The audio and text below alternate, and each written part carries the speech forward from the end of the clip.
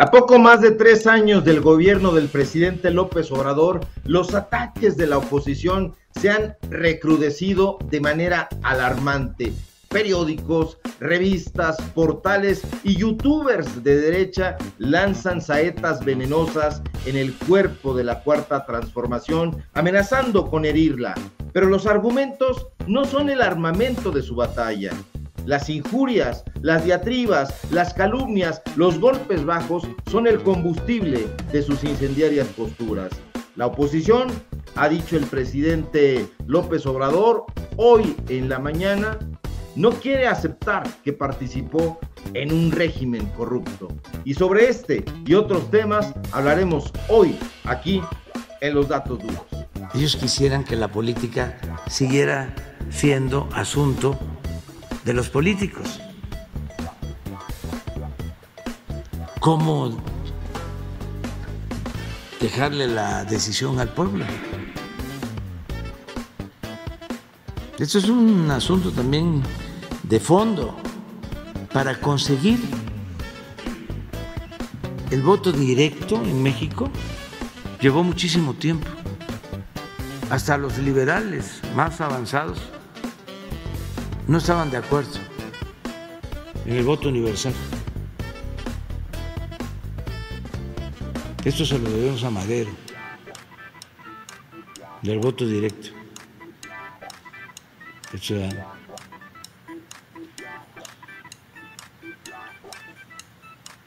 Y no les gusta, porque no son demócratas, no les gusta que sea el pueblo el que decida. Y lo otro, por lo que no quieren, supongo, es porque no quieren acreditar el método. No quieren que se establezca el hábito, porque están pensando hacia adelante. Y si dejamos establecido el mecanismo para el futuro, si un presidente se cree omnímodo, todopoderoso, pues se puede recurrir al método de la revocación del mandato. Entonces, lo de la pregunta, pues sí, no importa, ¿no? Que lo resuelvan. Pero lo más importante es que el día 10 de abril a votar.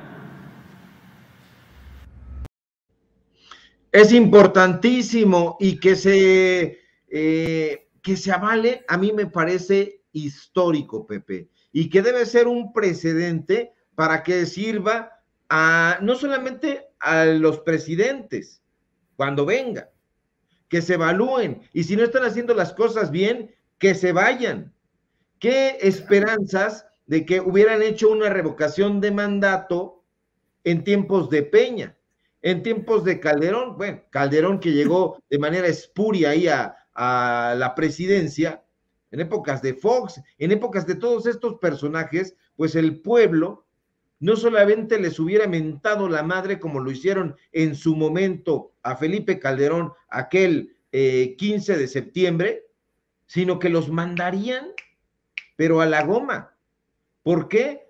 Porque no hicieron bien su trabajo, porque lo único que hicieron fue llenar sus bolsillos. Entonces, si le preguntan al pueblo y por eso le temen tanto a la revocación, pues el pueblo les dirá, no quiero que se quede tal o cual gobernante en el futuro. En este momento, otro de sus temores es que le pregunten al pueblo y que el pueblo diga, queremos que continúe el presidente López Obrador y que concluya su mandato. ¿Por qué? Eso significaría otra, una más, otra derrota en el corazón de la oposición. Sí, pues, estimado Ricardo, sería una rastriza. Y, eso es lo que ellos no quieren, porque es una manera de que el presidente muestre su poder popular que tiene. Por eso le dicen que es populista y lo atacan, porque el presidente tiene un gran apoyo popular.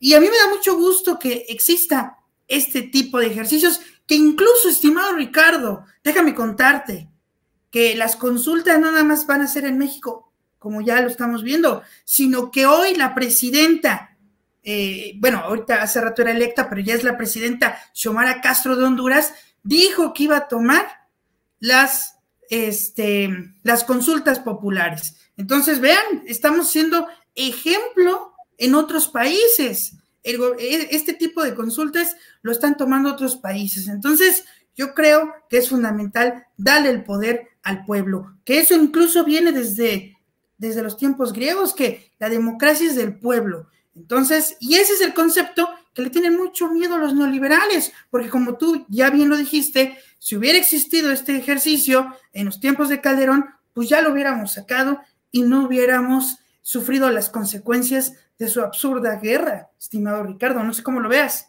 Sí, una absurda guerra que además dejó empantanada de sangre eh, pues a la nación.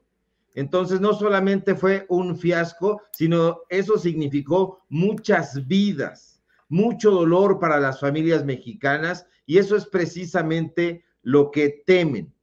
Temen que no vuelvan a, regresar.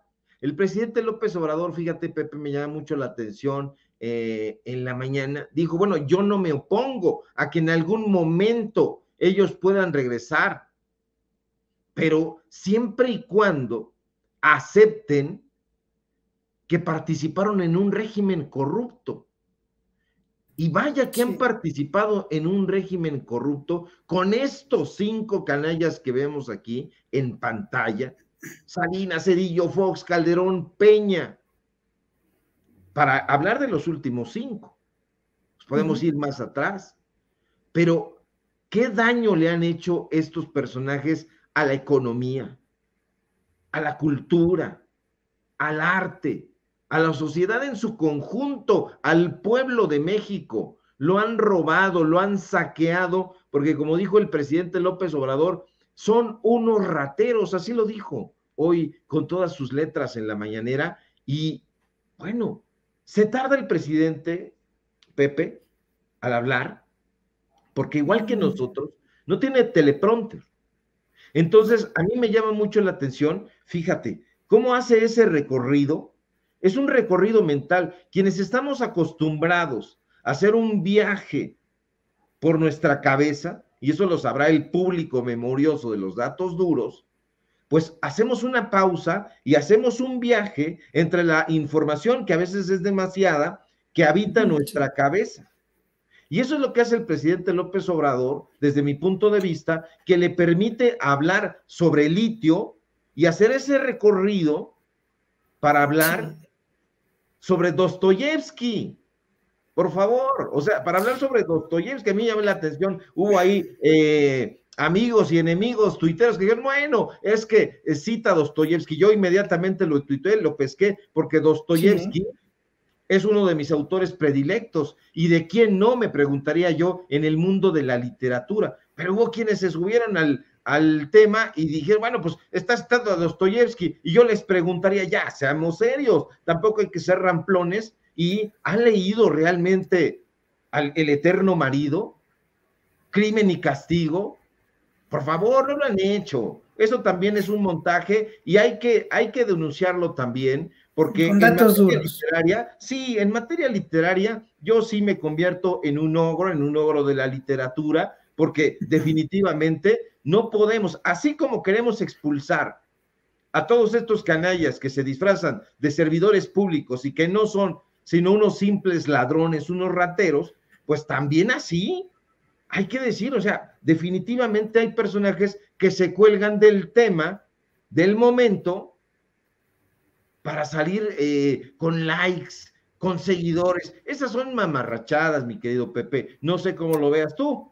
Por supuesto, pues es una manera de utilizar este un tweet y para que lo sigan, y, pero, pero realmente nunca los hemos visto que recomienden un libro de ellos o, que digan, ya lo acabo de leer y que nos expliquen de qué trató el libro. No lo hemos visto.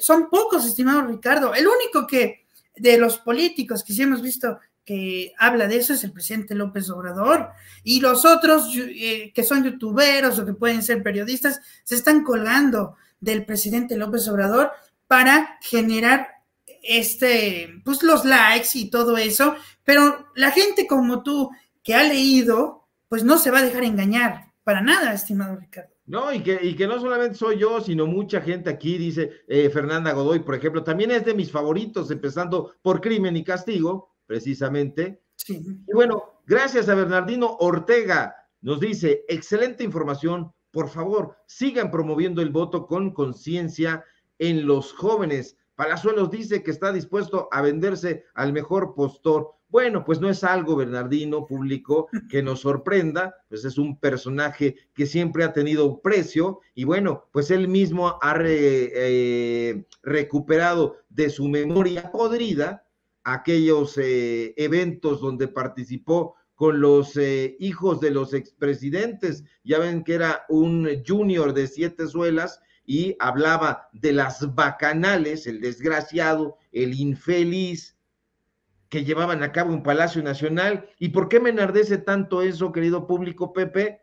Pues porque no era con su dinero, era con dinero público, era con dinero del erario. Entonces esas son, eh, iba yo a decir chingaderas, pero no podemos decir palabrotas acá, entonces voy no estamos en tiempos de canallas. No estamos ahí, pero es que definitivamente, sí, como dice López Obrador, son tiempos de buitres y eso enardece a cualquiera. Y bueno, ya nos estamos acercando a nuestra mesa de análisis, de hecho ya nos colgamos, pero antes yo creo que aquí las eh, analistas que nos acompañan hoy, en, hoy día y que ustedes las conocen perfecto, van a aguantar esta nota porque es muy interesante. El presidente López Obrador, público Pepe, designó hoy a Nuria Fernández como nueva titular del DIF y a mí me llama mucho la atención porque Fernández llega al Sistema Nacional para el Desarrollo Integral de las Familias justo en medio de la polémica que envuelve al gobernador, eh, al gobernatore, como le dicen en redes sociales de Nuevo León, Samuel García y su esposa Mariana Rodríguez, esta dupla de infelices, por la adopción temporal de un bebé que se encontraba precisamente en un albergue del DIF. Vamos a escuchar al presidente. Va a ser una compañera que le tenemos mucha confianza porque tiene mucha sensibilidad social y ha venido aquí también, este, ha actuado como periodista. Ella va a ser la próxima directora del DIF, Nuria Fernández. Entonces, la estamos este, promoviendo porque es puro corazón. Y es una mujer este, buena, una mujer de buenos sentimientos, de convicción, honesta. Ella va a ser. Entonces, vamos a que tome posición y que esta sea su primera este, tarea informar cómo están albergues de niñas, niños. Tenemos pendiente lo del plan de atención a niñas, niños de la calle, que hicimos el compromiso, y seguir con las eh, adopciones, procurando que eh, se garantice ¿no? El que tengan su hogar las niñas, los niños y que los quieran mucho. Y vamos a pedirle a, a Nuria que venga en unos 15 días, si te parece. Pues ahí está el nombramiento de Nuria, que hace el presidente López Obrador. Insisto, insisto, público, llega Nuria Fernández al DIF en sustitución de María del Rocío García Pérez luego de esta polémica terrible que generó la adopción temporal temporal de un bebé que se encontraba en el DIF, Capullos, por parte del gobernatore Samuel García y su esposa Mariana Rodríguez. Acto, fíjate nada más, Pepe, que el propio DIF señaló que no existe. O sea, esto me parece una, una soberana mentada de madre. O sea, no existe. Entonces, le, espera un buen desafío a Nuria. Esperemos que eh, presente más que puro corazón. El presidente destaca eso. Nuria es puro corazón. Ya la hemos visto, quienes estamos acostumbrados a mm, eh, atender las conferencias mañaneras, sabemos de, em, pues de las preguntas categóricas que realiza, de su entrega, pero sí se necesita, Pepe, un poquito más que puro corazón, porque el DIF siempre ha sido, pues, un, un tema, un tema muy, muy, muy polémico. Yo recuerdo que durante el Priato y durante el panismo también, pues eh, era uno de los elefantes blancos. se le era entregado prácticamente a quien llamaban la primera dama, que era la esposa del presidente en turno. Esta ocasión ya no hubo primera dama, ya no hubo la entrega del DIF a mm, la esposa del presidente, como solía ocurrir en anteriores sexenios, y precisamente por eso habría que escarbar a ver cuánta corrupción le dejaron el estos sexenios de estos personajes y que, bueno, pues estaban actuando, quién sabe cuántas veces habrán hecho esa clase de atrocidades como las que hizo Samuel y esta, esta mujer, iba yo a decir. Mariana. ya son demasiadas. No, y también, estimado Ricardo, hay que recordar que Marta Sagún, híjole, todo lo que hizo en el DIF. No hay que olvidarlo. Te digo. Y también Margarita Zavala. Así es. Todas las primeras damas. Bueno, la gaviota pues no hizo nada. No, no hizo nada porque pues, realmente se la pasaba viajando. también se retrató con los niños, con las niñas, ya ves que les gustan ese tipo de cosas, sus selfies, ahí sonrientes, ahí con carillas dentales. Esas carillas dentales se las debería de estar haciendo ahí la especialista en, en temas dentales en lugar de estar hablando de un tema tan complejo como la pandemia, pandemia de COVID-19, que además a ti, a ti te dio, Pepe. Sí, a mí me dio COVID, pero regresando al tema, yo creo que Nuria sí va a hacer un excelente trabajo porque hay que recordar que ella estudió economía, va a saber administrar muy bien, estudió en la UNAM, la, eh, casa mater de muchos, entonces yo creo que sí va a ser un excelente papel. Eh, también se tendrá que checar el caso de Samuel García y de su esposa, porque lo que hicieron fue un delito para alimentar pues su frivolidad en redes sociales. Creo que ojalá Nuria los ponga en su lugar estos personajes, que no se quede impune este hecho, estimado Ricardo. Así es, yo tengo mucha confianza en Nuria Fernández y sobre todo me da muchísimo gusto que el presidente López Obrador esté dándole oportunidad a los periodistas, a las periodistas, porque justamente de eso se trata también, de darle oportunidad de desarrollarse en la materia que eh, se conocen y en el caso de Nuria, pues es eh, efectivamente pues alguien que conoce, conoce bastante bien, eh, ya ha, ha, informado sobre diferentes temas muy importantes y ahora yo, yo diría que, que es como un, una, una sentencia velada de parte del presidente López Obrador sobre Samuel García y Mariana. La primera tarea de Nuria, dice el presidente, será informar sobre los albergues. Así que ojo, eh, ahí estaríamos viendo algo muy, muy interesante.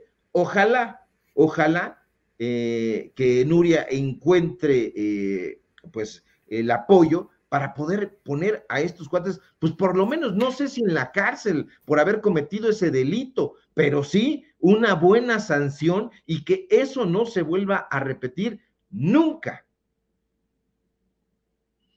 Y bueno, ya vamos a nuestra mesa de los datos duros, porque ahora sí, ya nos colgamos. Eh, sí, ya. Ya, ya, presenta. Hablas mucho. No, pues es que eh, la información es basta, querido Pepe, no te, no te engoriles, pero em, eh, mejor preséntanos a nuestros panelistas. Bueno, primero que nada, quiero dar la bienvenida a Marta Rojas, quien es editora de Regeneración MX, que es editora de Cultura. Te mando un gran saludo, Marta. ¿Cómo estás? Hola, Pepe, Ricardo. Un gusto compartir con ustedes esta tarde de jueves para entrarle aquí a un tema, pues ya un poco revisado, pero muy, muy interesante tenerlo siempre presente, ¿no? Para poder tomar decisiones responsables. Muchas gracias. No, gracias a ti, estimada Marta. Y también quiero saludar a Carla Trejo, quien es editora de opinión en Regeneración MX, es la que me trae en corto ahí con los artículos. Te mando un gran saludo, Carla. ¿Cómo estás? Tu audio. Tu audio. Ya está, perdón, perdón. Lista para darle con todo este tema. Pues vamos a darle a lo, a lo, que te truje, eh, Chencha. Pues bueno, la oposición, Marta, está, pero que no se contiene con nada, están recrudeciendo todavía más los ataques en contra de López Obrador, de la cuarta transformación, de la transformación en general, y se han llevado entre las patas, pues a todo el trabajo que se está haciendo, el trabajo bueno, el trabajo bien hecho. Han habido errores, por supuesto, eso hay que decirlo, no, no, no vamos a, tratar de lavarle la cara a nadie en ninguna institución, pero son más los resultados buenos, los resultados positivos, que, por ejemplo, el papel que está haciendo Gertz Manero. Eso no, no lo podemos negar. Ha habido ahí tortuguismo. Pero bueno, en general los resultados del gobierno federal, de las instituciones, ha sido benéfico para eh, las mayorías pero eso no lo están argumentando o tratando de desarmar con argumentos en la oposición, Marta. Están dándole pues a la calumnia, están dándole al sarcasmo, están dándole a la payasada. Ya parecen rebasados los argumentos, ya no los hay, si es que alguna vez los hubo, pero ¿qué está pasando ahora con el Reforma, Marta? ¿Qué está pasando con el Universal? ¿Qué está pasando con Latinos, con estos medios de comunicación que se esgrimen como medios periodísticos y que no hacen más que investigaciones cuando las hacen a modo. Entonces hay una persecución, eh, por ejemplo, en el caso de Latinos, en contra de la familia del presidente López Obrador. ¿Tú cuál crees que sea la consigna de estos medios de comunicación y de estos comunicadores, por llamarles así? Pues yo creo que su interés principal es no dejar que un potencial eh, Morena siga en las elecciones que vienen, ¿no? Y su intención clara es desacreditar cualquier movimiento que el presidente López Obrador haga, porque creo que estos medios están muy pendientes, por ejemplo, de la familia, ¿no? O de los tropiezos en la administración de López Obrador, porque también hay que decirlo, ha habido algunos equívocos, ¿no? Pero más que eso, son como digamos, balas que ellos usan, ¿no? Para, para tratar de decir, sí, yo tengo eh, razón, López Obrador es un peligro para México, ¿no? Pero en realidad este peligro no es para México, sino para los intereses que estos periodistas, ¿no? Y que estos empresarios, dueños de medios de comunicación, pues grandes, ¿no? Que, que mucho tiempo tuvieron como la hegemonía en la información mexicana y en el panorama nacional, tienen, ¿no? Por ejemplo, eh, yo creo que Carlos Loret de Mola también tiene muchos intereses empresariales, ¿no? Nunca ha hecho un reportaje sobre quién patrocina latinos, ¿no? O nunca, o por ejemplo, todas las columnas de Ricardo Rafael en Milenio, pues siempre están destinadas un poco a desacreditar, ¿no? Eh, los movimientos de la Fiscalía General de la República, ¿no? A lanzar eh, tropiezos contra el presidente López Obrador, pero en realidad solo son eso, ¿no? Calumnias informativas, diría yo. Gracias, Marta. Carla, tú le sabes mucho al tema de la salud.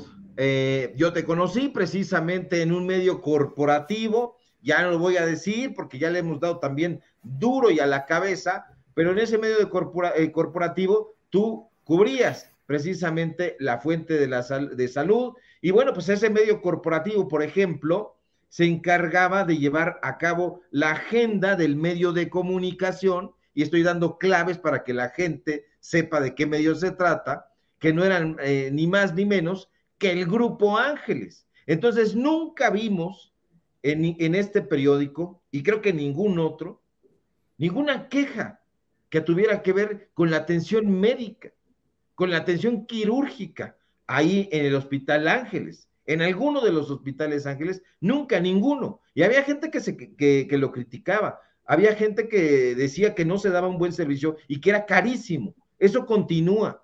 Pero no vemos en esos medios de comunicación esa crítica, y sí vemos una crítica a Hugo López Gatel, vemos una crítica a la Secretaría de Salud, vemos una crítica al ISTE, al IMSS, en fin, al modelo de salud que se está implementando. ¿Tú cómo ves el panorama en temas de salud? ¿Ha sido, han, han, sido saldos positivos o saldos negativos, Carla? Yo creo que en este gobierno ha habido de los dos, ¿no? A mi consideración, sí se pudo haber hecho un mejor trabajo en el control de la pandemia, pero yo algo que le reconozco mucho al gobierno de López Obrador fue eh, la campaña de vacunación, porque yo me acuerdo que cuando empezó eh, a sonar que ya había vacunas y que ya se empezaban a distribuir en Estados Unidos, había como un calendario previo que decía que a nosotros, los, los que estábamos como entre los 30 y 40 años, nos iba a tocar hasta mayo de este año de 2022 una vacuna. Y dos meses después de ese dicho, eh, me estaba yo poniendo la segunda dosis de, de, la vacuna contra el COVID, ¿no? Me parece que fue muy, muy ágil, fue rápida y yo no he sabido de nadie que no haya tenido acceso a la vacuna porque este, se acabaron o porque se tardaron. Claro que hay que ir a formarse, claro que hay que seguir un proceso, porque pues todavía esto no es sencillo, no es una, un tema de organizar a un país, pero yo creo que todos la tuvimos a tiempo y la tuvimos sin ningún problema, a nadie nos cobraron, la, las, vacunas. Me parece que la campaña de vacunación yo creo que es algo bastante resaltable de, del gobierno de López Obrador. Y por otro lado, pues como bien dices, en, en los medios, pues esto no se, no se resalta y de todo lo contrario, eh, todo el tiempo están criticando a lo mejor las muertes, los contagios, pero yo creo que no se nos debe de olvidar que esta pandemia también es responsabilidad de cada persona, ¿no? O sea, el presidente no va a ir a cada puerta a tocarnos y decirnos ponte el cubrebocas, usa este gel antibacterial o no salgas a lugares públicos. Me parece que todo cae también en la responsabilidad que tenemos como ciudadanos y como seres humanos. Si queremos salir adelante de la pandemia, no es necesario eh, culpar a un personaje, es simple y sencillamente también tú tomar tu responsabilidad para, para superar esto. Entonces creo que a veces en los medios de comunicación pues se les va la lengua y sobre todo en, en Latinos o en Loret de Mola, que es como a los que tengo un poco más monitoreados, que, o sea, insisten y critican y López Obrador es el peor y en México hay muchísimas muertes por, por cómo manejó la pandemia. Sí, quizá tuvo errores, pero yo creo que ellos eh, se han enfocado en estar culpando a una sola persona o a él o a López Gatel de cosas que pudimos también tomar todas acciones como seres humanos y como ciudadanos de, de, de este país. ¿Y qué no te pareció, Carla, en, en, el manejo de la pandemia? ¿Qué no te está pareciendo? Porque todavía está, está la pandemia. Y pregunta aquí el público, ¿qué, Carla, qué se hizo mal con la pandemia? Eh, ¿qué, qué, tú, ¿Tú qué consideras, siendo muy objetivos, ¿cuáles serían esos eh, puntos criticables a resaltar? Yo creo que fue al inicio, eh, mientras ya varios países habían tomado acciones de cerrar fronteras, por ejemplo, o de eh, aislar a, a, los vuelos que llegaban este, de Europa, que era donde estaba ya un poco más fuerte la situación cercana a cuando llegó el virus a México. Yo creo que ahí se pudo haber hecho algo mejor, a lo mejor algo más a tiempo eh, algo así como cerrar este vuelos, cerrar fronteras, etcétera. Creo, a mi consideración, que eso es lo que se pudo haber hecho, pero por otros lados, yo no puedo culpar a una sola persona de, de que vayas a los centros comerciales y está atascado de gente. Creo que la responsabilidad es de muchos y no nada más de López Gatel o de, o de López Obrador. Yo, yo, desde mi punto de vista, sí hubo algunas cosas que eh, pudieron manejarse mejor, sobre todo en términos de comunicación. Y, y, voy a plantearlo aquí, a riesgo de ser impopular. a mí me parece perfecto cómo lo hizo el secretario de salud. Me, lo, me parece perfecto, buenísimo la comunicación a detalle, la información que presentó Hugo López Gatel. Pero lo que sí me llamó mucho la atención fue el silencio casi lapidario del ISTE, del IMSS. Yo jamás vi al director del ISTE, al director del IMSS, dando una postura. Iban y hablaban de otra cosa, como si le dejaran la responsabilidad a Hugo López Gatel y ellos estaban hablando de otra cosa, completamente diferente. Esa es la parte que yo diría y justamente es de lo que estaría hablando el presidente López Obrador. Bueno, hay gente comprometida, pero además entusiasmada. Y entonces yo no veía a estos personajes entusiasmados de pronto veía a Zoe Robledo pues, estar en una bicicleta, ahí voy para la, eh, la reunión de seguridad a Palacio Nacional. ¿Y qué pasó con, con, con eh, la pandemia en el Instituto Mexicano del Seguro Social? Entonces, quien daba esa información era todos los días y de manera puntual Hugo López Gate. Entonces, en ese sentido, yo haría esa puntualización. Pero bueno, Pepe, Tenías eh, preguntas ahí. Claro que sí. Quiero enfatizar un poco con el sector de salud porque me gustaría preguntarte, Marta, ¿cómo recibió el gobierno el sector salud? Sabemos que se están enfrentando a las farmacéuticas, eh, también sabemos que, que, el gobierno encontró todo, todo un, ¿cómo les diré? Un pozo lleno de corrupción, abrió la coladera y salieron todas las ratas en el sector salud. Yo te quiero preguntar, ¿cómo era el sistema antes de que llegase el presidente López Obrador? ¿Y qué hubiera pasado realmente si nos hubiera tocado esta, esta pandemia con un gobierno panista o un gobierno priista? Marta. Yo creo que nos hubiéramos encontrado con eh, una problemática, sobre todo en cuanto a la compra de vacunas, ¿no? Recordemos, por ejemplo, cómo fue la operación de, la influenza, ¿no? H1N1 y bueno, ahí entenderíamos que el gobierno ha hecho un gran papel respecto al abasto de, de vacunas, perdón, porque creo que las compras se han hecho legítimas, ¿no? Y tan es así que ya vamos por la tercera dosis para los, para los adultos de entre 50 a 59 años.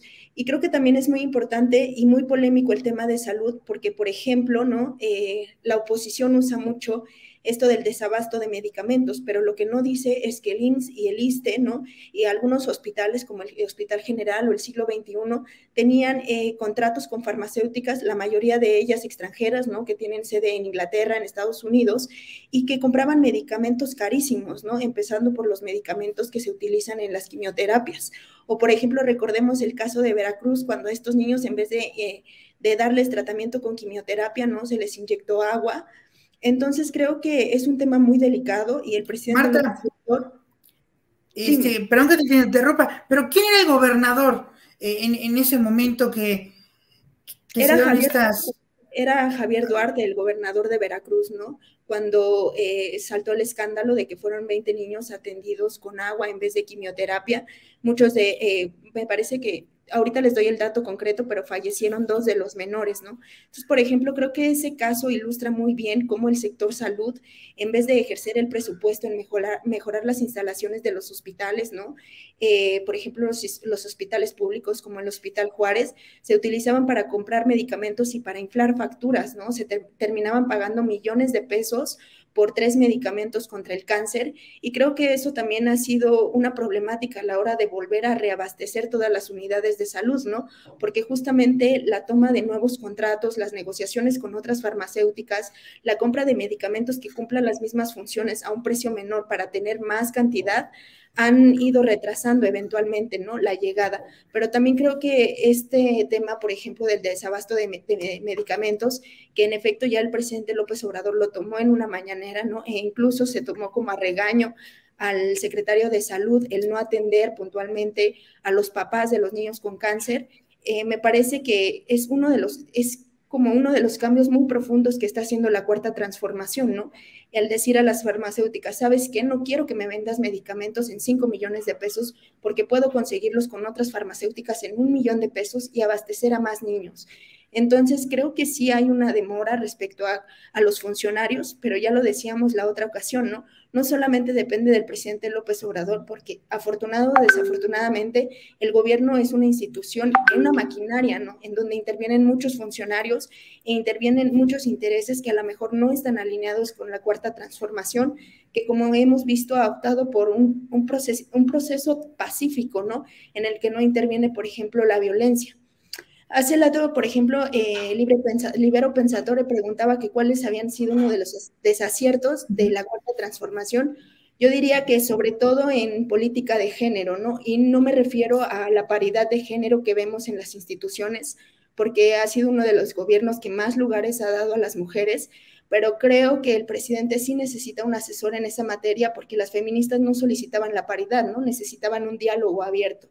Y, por ejemplo, también es entendible porque para López Obrador las prioridades están en otras, ¿no? En, el combate a la desigualdad, en el combate a la violencia, en atacar, por ejemplo, las raíces que, que llevan a los muchachos a terminar en narcotraficantes, en asaltantes, ¿no? Entonces también, de cierta forma, es entendible, pero también es necesario que lo haga.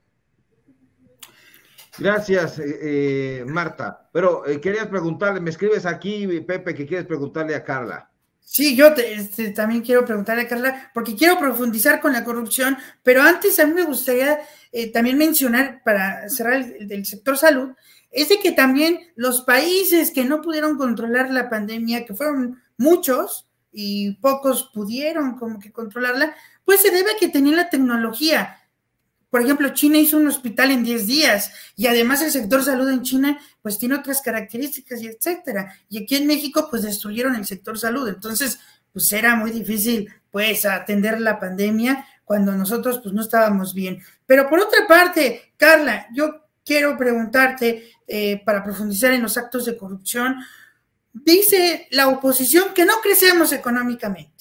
A, ver, yo, yo, quiero ahí, antes de que, de que plantees tu pregunta, Pepe, ¿Sí? hacer una precisión muy, muy interesante. Yo trabajé, mucha gente lo sabe, durante muchísimos años en el Instituto Mexicano del Seguro Social y había un cártel ahí, un cártel que le llamaban el cártel eh, de la sangre. ¿A qué, me, ¿A qué me refiero con el cártel de la sangre? Bueno, que habían eh, dentro de los eh, proveedores del instituto un puñado de empresas que eran las que vendían eh, mucho, muy caro las pruebas que se aplicaban en, los, en los, laboratorios. La, toma de muestras sanguíneas, el banco de, de, sangre, y había eso en el Instituto Mexicano del Seguro Social y tenían amagado a los laboratorios. Había por otra parte otro cártel de los medicamentos. Entonces, no es que hubiera desabasto, y que fuera responsabilidad del gobierno federal. Es que había contratos que se habían dado además por licitación directa a ciertas farmacéuticas. Y esas farmacéuticas, al ver eh, el atentado a sus negocios, entonces amagaban al instituto quitándole, retirándole los medicamentos, diciendo, no hay paracetamol, no hay salbutamol, no hay clorfenamina, mucho menos compuesta, etcétera. Entonces, ¿de qué se trató esto también? Pues de hacer las, las famosas compras consolidadas que hacían, eh, ahora hacen un abasto para todo el sector salud y ya no tienen esta posibilidad de hacerlo de manera ya directa en cada una de las instituciones y que el ISTE le comprara a unos, que el, el IMSS le comprara a otros, que los hospitales de Pemex le compraran a, otros más. Entonces ahora ya se, hace una compra, las compras consolidadas que están precisamente haciendo lo que se hizo también con el guachicol. Entonces es como, era como un guachicol de medicamentos y eso también tuvo en un primer momento, pues, eh, en problemas al sector salud, pero con el paso del tiempo eso ha mejorado. Si tú vas y ves las estadísticas, o va la gente y ve las estadísticas, en el caso de la atención médica, quirúrgica, farmacéutica, hospitalaria, y no lo dice la prensa corporativa, pero lo dicen allá afuera, los estudios, el Instituto Mexicano del Seguro Social es un punta de lanza en el sector salud, o sea, en, en, eh, en los temas quirúrgicos, por ejemplo. O sea, el, el Centro Médico eh, Nacional Siglo XXI, el Centro Médico eh, Nacional La Raza, etcétera, son puntas de lanza, pero eso nunca lo van a decir en la prensa corporativa. Te interrumpí, Pepe. No, no te preocupes. Pues yo quería preguntar también ah, algo este, que tiene algo en común con lo que vivimos con la pandemia. Vimos que varios empresarios pidieron al gobierno federal de López Obrador que, lo, que tenía que haber un rescate, así como hubo en el 95-94 del FOBAPROA. Yo te quiero preguntar, Carla, ¿hizo bien el gobierno en no nada más eh, rescatar a estos empresarios como lo hizo, como lo hizo, perdón, Ernesto Cedillo Ponce de León, Carla? ¿Hizo bien en no rescatarlos? Sí, es la, es la pregunta. Pues yo digo que sí, es que en el tema de salud, pues también era toda una mafia y yo creo que, que si se implementaba algo así, por ejemplo, en la, en la venta de, de vacunas o de pruebas, pues como siempre se iba a beneficiar a unos cuantos y pues todo el resto de las personas íbamos a salir fregados con, con este tema. Y ahorita eh, que mencionaste lo del, lo del hospital en China que hicieron en poquitos días, México no se quedó atrás. El hospital que pusieron ahí en el, eh, en el Foro Sol, me parece, también estuvo muy rápido al servicio de la gente y no hubo tanto problema para recibir a, las, a los enfermos de COVID. Entonces, yo creo que, por un lado, en la pregunta que me hiciste, yo creo que sí hizo bien en no, en no rescatar a esos empresarios, como dices, porque finalmente esos empresarios solo ven para sus para sus arcas, sus beneficios y pues el pueblo valemos eh, lo que sea, ¿no? Y por otro lado, por, los, por lo de los hospitales, yo creo que en ese punto México no se quedó atrás y me parece que no lo hizo nada mal. Eh, sí había saturación, obviamente, porque pues cuántas personas somos y cuántos eh, contagios hubo, pero me parece que en el tema de abrir hospitales o centros de atención al COVID, lo hizo muy bien, no fue el único el que hubo en el, en el Foro Sol, hubo varios y me parece que ahí no, yo no tengo este tema en contra. Ok, y yo, yo fíjate que para abonar a esto que dices, Carla, pues a mí me tocó precisamente ir a recibir eh, la vacuna al Palacio de los Deportes. Entonces yo vi ahí que todo estaba perfectamente bien eh, eh, articulado, había una logística que yo llamaría incluso impecable, porque había em, una, una, fila perfectamente bien diseñada, no, no, había saturación, el cuerpo de enfermería que era de, diferentes instituciones estaba cumpliendo, eh, te informaban, te sentaban, eh, te, pasaban a otro lugar para ver si no había reacción, salías y todo en, en muy buen tiempo, entonces eso tiene que ver, por ejemplo, en el caso concreto de la Ciudad de México, pues con esta este trabajo en colaboración que hizo el gobierno de Claudia Sheinbaum, eh, la Secretaría de Salud eh, local, la Secretaría de Salud federal y bueno, las instituciones que participaron, el ISTE, el etcétera. Entonces, sí estuvo muy, muy bien diseñado. Pero yo te quiero preguntar, Marta, porque ahorita ya nos estamos centrando en el tema de la salud y no quisiera, es decir, es muy importante, pero también, ¿por qué están desesperados? Yo eh, eh, quiero hacerte un planteamiento. Por ejemplo, ahorita yo creo que la oposición está enfrentando crisis internas en todas partes, crisis internas en los partidos, hay falta de liderazgo, hay eh, un riesgo de no mantenerse en unidad en el, en el tiempo que resta. Entonces yo veo que están eh, todos como muy desbalagados. Eh, sus opinadores son simple y sencillamente eso, gente que en las rodillas eh, da a conocer una postura generalmente racista, ideológica, perversa, con intereses espurios de por medio, pero, pero lo están difundiendo y eso es también lo, lo terrible en los medios de comunicación de los cuales son dueños. Nosotros, eh, si nos, nos, asomamos a la prensa corporativa, a lo que ellos llaman la prensa tradicional, nos vamos a encontrar con un pantano de tergiversaciones que hacen los supuestos periodistas es periodistas que incluso, por ejemplo, no están habilitados o capacitados para hacer una cobertura en tal o cual sección, vemos de pronto periodistas que han sido emanados de la farándula haciendo coberturas, y lo vimos con Hugo López Gatel, pues eh, en el área de la salud. Entonces, eso yo creo que empaña muchísimo el punto de vista de la opinión pública. Ahora, ¿cómo se, em, se enfrenta ese tipo de prensa, eh, Marta? Ese, ese tipo de, de, mala prensa, ese tipo de tergiversación de la información, ¿cómo? ¿Cómo se enfrenta? Ricardo, yo creo que la única manera es contrastar los datos, ¿no? Y apostándole sobre todo a los datos duros. Por ejemplo, ya que hablábamos del sector de salud, vemos cómo en el último informe ¿no? de 2021 la Secretaría de Salud informó que solamente había gastado 76 mil millones de pesos en la compra y distribución de medicamentos y en el sexenio de Peña Nieto el gasto ascendía a 80 mil ¿no? y se estimaba en 95 mil.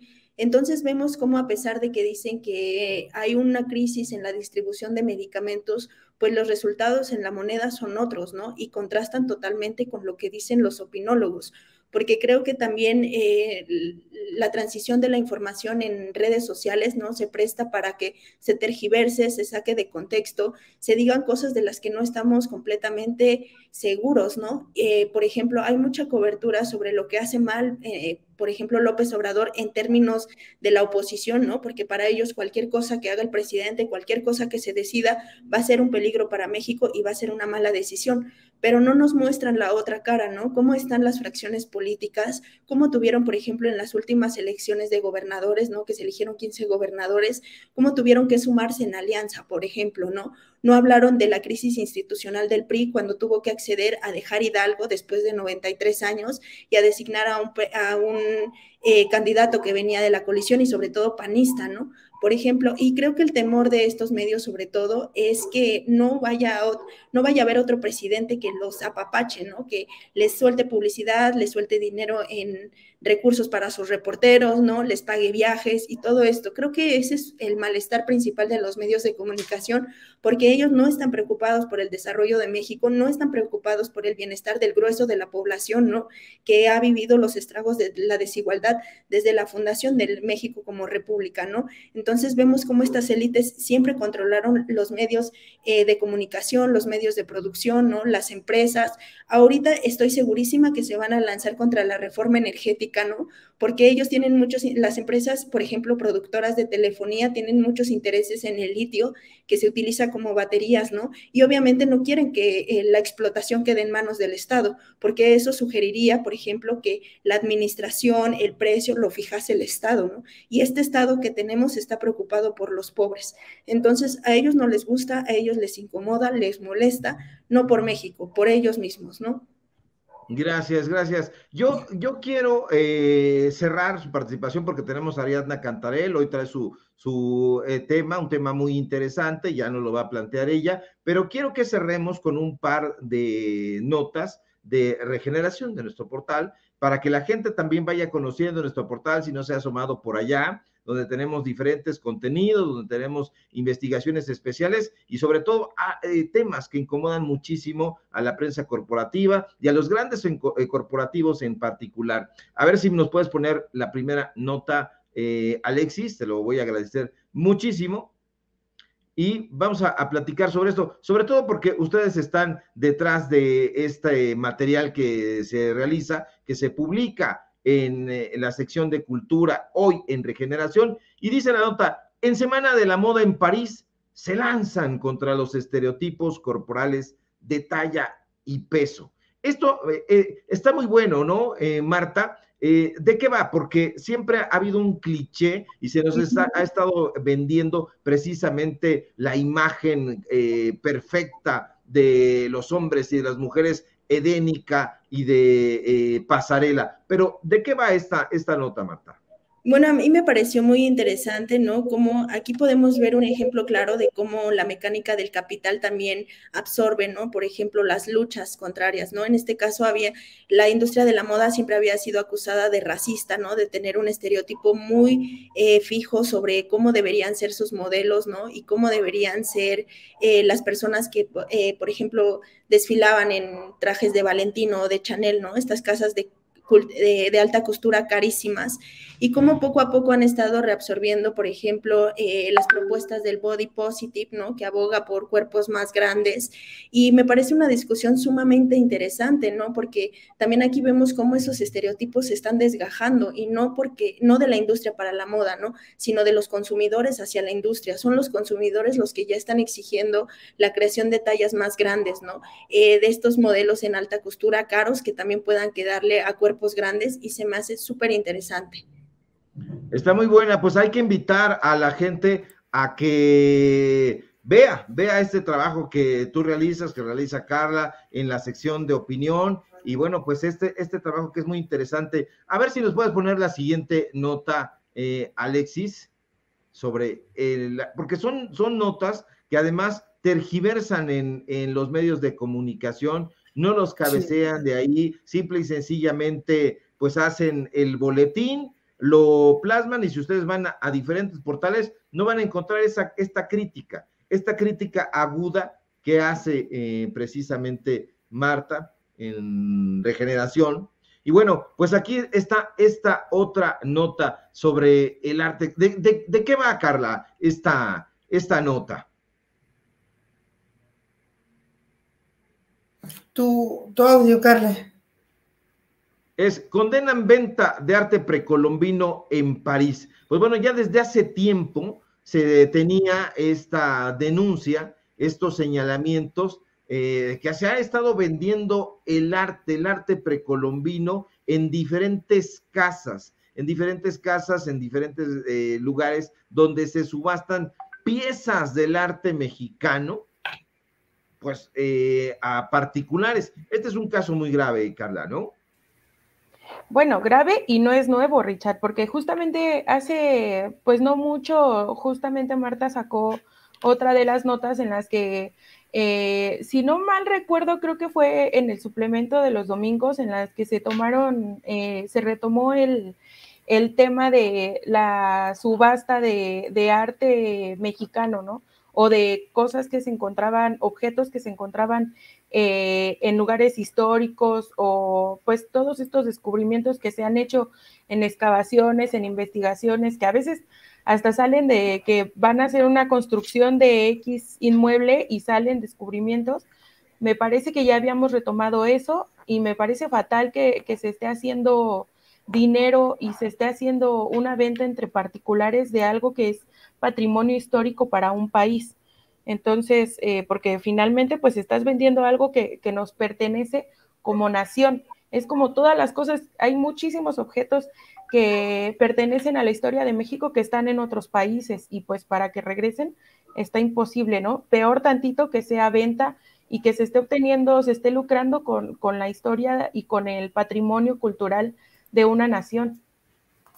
Y y aparte, Ricardo, yo quisiera agregar que es el primer gobierno que ha pugnado, ¿no? Por el regreso de estas piezas porque la legislación en México está vigente desde 1827 y estas colecciones que están subastando en París fueron formadas entre 1950 y 1970. Y entonces preguntarnos, ¿quién permitió que esas piezas salieran del país si ya estaban protegidas por la Constitución mexicana? Estas redes de corrupción, de tráfico de influencias, ¿no? De ojo cerrado a cómo, cómo esas colonias, a pesar de que ya no tienen sus colonias aquí, tácitamente siguen explotando el patrimonio cultural e intelectual de, de quienes fueron sus vasallos, ¿no? Me parece sumamente importante esta labor que la Secretaría de Cultura está haciendo porque ha sido la primera en reclamar públicamente el patrimonio cultural que nos corresponde, en denunciar públicamente el eurocentrismo que sigue rigiendo aquí en México. Interesante reflexión, Marta porque hemos visto también cómo han explotado nuestra cultura, sobre todo otros países, eh, sobre todo europeos.